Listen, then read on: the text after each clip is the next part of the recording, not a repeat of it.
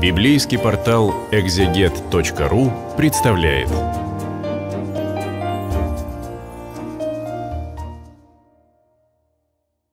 Двадцатый псалом для библейского портала «Экзегет» читаю в переводе Российского библейского общества. И он э, продолжает, развивать ту же тему, которая была в девятнадцатом. Это царские псалмы. В этих царских псалмах, он так и называется, начальнику хора псалом Давида, они, в общем, все подряд носят именно такие надписания, и в этих царских псалмах мы э, встречаемся с фигурой царя как идеального такого представителя своего народа перед Богом, а иногда, может быть, идеального посредника между Богом и своим народом, но э, не просто, не просто такая вот, знаете, функция, это прежде всего личность, да, то есть царь Давид ли, а может быть кто-то из его потомков, потому что псалом Давида может относиться к Давидовой династии, к Давидовому э, образу правления, к Давидовой монархии, к Давидовому псалмопению, в конце концов. Да, это поэзия, которая связана с Давидом, но не обязательно им лично написана. Было бы, мне кажется, довольно нескромно Давиду писать такие вещи о себе, как в 20-м псалме. Он много молился, мы читаем эти молитвы, но там благодарность или покаяние, или просьба о помощи, или что-то еще, но только не самовосхваление. А в 20-м это, конечно, восхваление царя. Давайте прочитаем и задумаемся о том, почему это так, и почему вдруг книги, которая посвящена молитвам, хвалят царя. Ну, это же э, политическая вещь, да, она не связана с нашей верой, или связана, но тогда как? Это что, это начальника надо похвалить, какой он хороший, или что-то другое? «О Господь, радуется царь силе Твоей, ликует о спасении, посланном Тобой. Ты исполнил все, чего он желал, не отверг ты просьбы его». Музыка. Благословениями встретил его, венчал золотым венцом. Он просил у тебя жизни, ты дал ему долголетие навеки. Ты спас его и навек прославил, не спаслал ему величий блеск. Ты навеки его благословил, радостью наполнил его, ибо ты с ним. На Господа уповает царь, и по милости Вышнего не дрогнет.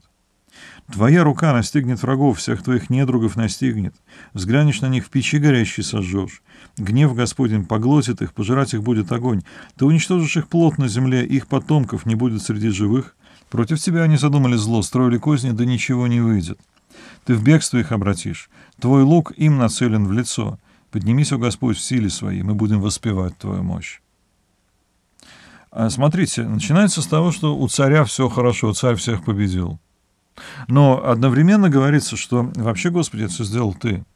Ты ему даровал долголетие, ты ему даровал спасение, которое здесь понимается конечно, не как некая благая участь вечности, но скорее как спасение от врагов, как победа на войне. Это твоя рука, рука настигает врагов, это ты их сожжешь в печи, Господи, ты уничтожишь их плод на земле. Да, здесь есть такая мстительность, она в Псалтире встречается, но э, что скрывать? Мы с вами часто думаем о том, что вот наши враги, те, кто против нас, хорошо бы их Бог наказал. Вот псалмопевец не стесняется этого своего чувства.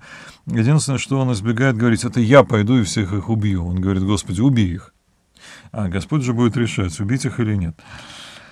«Э, «Ты в бегство их обратишь, — говорит э, псалмопевец здесь Господу, — твой луком нацелен в лицо». То есть, смотрите, с одной стороны, э, это о том, как у царя все хорошо, а с другой стороны, царь-то оказывается здесь, в общем, почти ни при чем. Псалом не о царе, хотя псалом царский. То есть он говорит о э, царе, правящем в Иерусалиме, о наследнике и потомке Давида. Он говорит о Боге и о том, что царь всего лишь орудие в его руках. То, о чем очень часто говорит всякая придворная пропаганда, но она в основном имеет в виду «слушайте нашего царя, иначе вы против Бога пойдете тем самым». Да? То есть кто противится царю, тот против Бога. А здесь говорится почти то же самое, но совсем по-другому. Э, что победил царь, то кто победил Господь. Э, что царь рассеял врагов, то сделал Господь. А заслуги царя здесь особо и нету. Царь всего лишь тот, кто принимает эти дары от Бога. Вот это очень важный момент, потому что бывают разные политические системы, бывают монархии, республики, разные еще такие сложные э, политические системы, и всякий раз те, кто стоят наверху, общество, государство, народа, они приписывают победы себе, и народ охотно приписывает победы им, как мы хорошо живем при таком-то, как мы всех победили при таком-то и так далее. Но э, Псалтирь — книга, которая говорит, да нет, это все Господь. А то, что был кто-то... Вот смотрите, а какой царь? Простите, а его тут нету. Он по имени не назван. Это может быть даже Давид. И тогда это псалом Давида, в смысле, что это псалом, посвященный Давиду. А может быть кто-то из других царей, а может быть это образ царя вообще. Но в любом случае то, что с ним происходит, это делает Господь. Вот Господь единственный субъект этой самой э, истории, он единственный глава своего народа, своего государства, он единственный политик, если говорить вот о политической стороне процесса. Так это практически нигде и никогда не понимается.